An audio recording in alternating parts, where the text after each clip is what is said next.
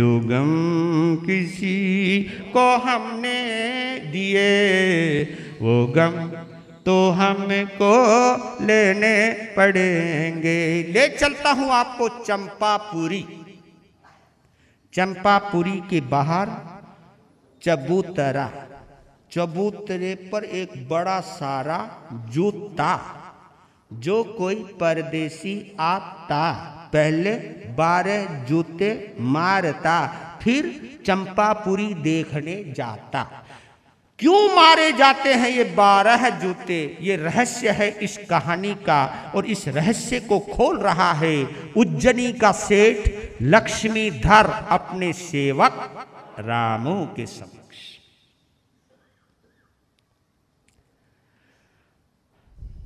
देखो किस्मत का खेल। चंपापुरी का राजा चंद्रसेन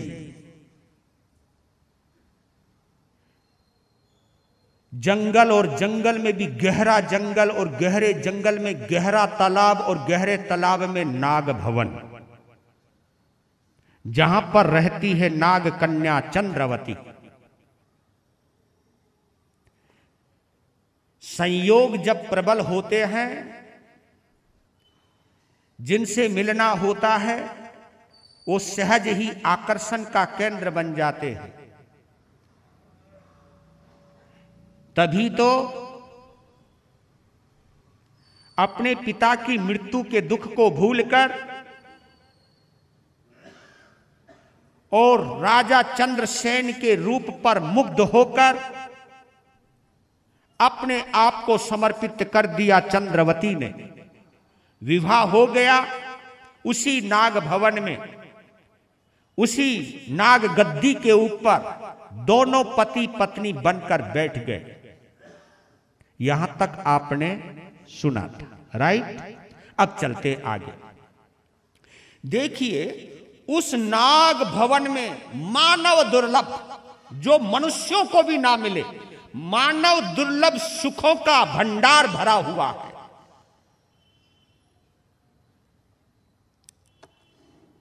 उस नाग भवन में रहते रहते चंद्रसेन अपनी चंपापुरी को भूल गया।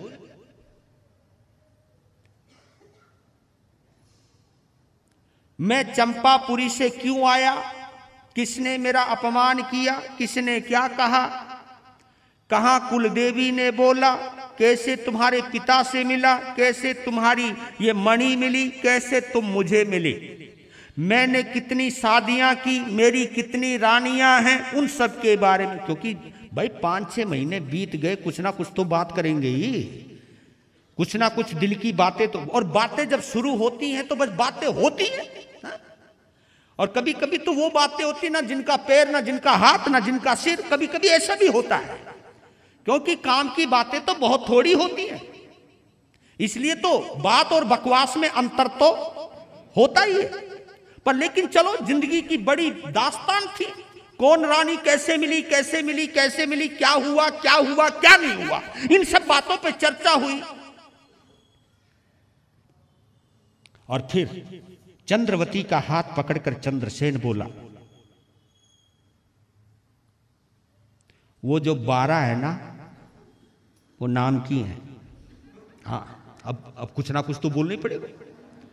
वो नाम की है। वैसे पहले वो काम की थी। हाँ पहले वो काम की थी बस शादी करी थी। कहीं कोई हुआ नहीं, कुछ हुआ नहीं, और तुमने मुझे एक नहीं, दो संतान देनी है। ये देवी का वचन है। और तुम ही मेरी हृदयश्वरी बनने वाली हो। हाँ क्योंकि जब आदमी फेंकने में आता है ना, इसलिए तो कहता हूँ कि दो चीज़ों में बच के राख रो आप। जब बहुत प्यार आ रहा हो तो वादा कम किया करो। क्योंकि जब आदमी प्रेम में आ रहा ना तो बोलता है, तू कहे तो आसमान से चाँद तोड़ लाऊं। अबे, दो फुट तो उछला नहीं जा रहा, चाँद तोड़ के लाएगा। पर लेकिन बोलने में जाता क्या है? इसलिए कहते कि जब बहुत प्रेम आ रहा हो तो कोई वादा मत करो। जब कोई क्रोध आ रहा हो तो किसी इरादे को अमली जामा मत फैलाओ कोई काम मत करना, क्योंकि क्रोध में जो भी कुछ निर्णय लेने जा रहे हो, वो अच्छा निर्णय होने वाला नहीं है। प्रेम में वायदा और क्रोध में निर्णय, सावधान रहना। क्रोध में निर्णय लेते वक्त सावधान रहना, क्योंकि क्रोध में लिया हुआ निर्णय कभी भी अच्छा नहीं होता है।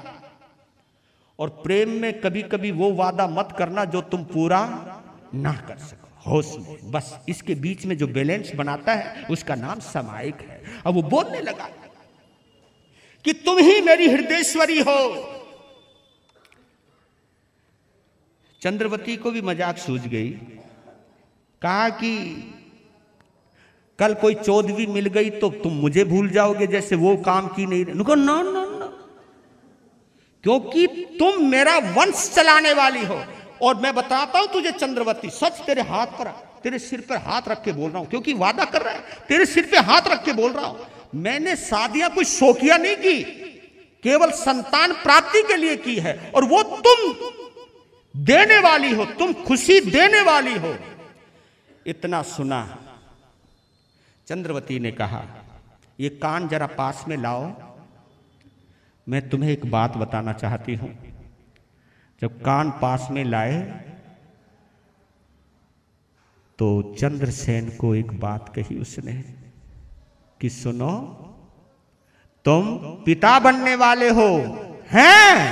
होए होए होए होए वो तो पलंग से नीचे उतरा और जंप खाने लगा, भंगड़ा पाने लगा, नाचने लगा, कूदने लगा, हुर्रा! खुशियाँ मनाने लगा, ताल ठोकने लगा, एकदम चंद्रवती को ज़ोर से पकड़ लिया। तू सच तो बोल रही है ना? तू मज़ाक तो नहीं कर रही, तू कहीं झूठ तो क्योंकि मैं पागल हो जाऊँगा। कहा, बाबा, मैं सही बोल रही हूँ, तुम पिता बनने वाले हो। ओ, ये शब्द सुनने के लिए चंद्रसेन के कान तरस गए थे। खुशी के आँसू निकलने लगे। उस वक्त चंद्रवती के पाँव छुए उसने, क्योंकि वो उस समय लक्ष्मी है पुत्र संतान देने वाली है, और कहा, मेरी एक गुजारिश है तुमसे। बच्चे का जन्म चंपापुरी में होना चाहिए। क्योंकि चंद्रवती, वहाँ के लोग मेरा मुँह देखना अशुभ मानते मैं तुझसे कुछ नहीं माँगता। तू चल। आखिर लड़की को मायके कब तक रहना है? आखिर जाना तो उसको अपनी ससुराल में ही है। तू चल। अपने पति की आँखों में इस दर्द के भरे आंसुओं को देखकर चंद्रवती ने कहा आई एम रेडी मैं तैयार हूँ। चलो। तो सब माया समेटी चंद्रवती ने मणि के सहारे बाहर आए उस जलाशय से और एक पुष्पक विमान तैयार किया अपनी शक्ति से और चलते चलते चलते चलते पहुँच गया चंपापुरी। चंपापुरी के बाहर, चंपापुरी के बाहर एक उद्यान था, वहाँ रुक गया। वहाँ से सूचना भिजवाई चंद्रसेन ने कि जाओ सुबुद्धि महामंत्री को बोलो।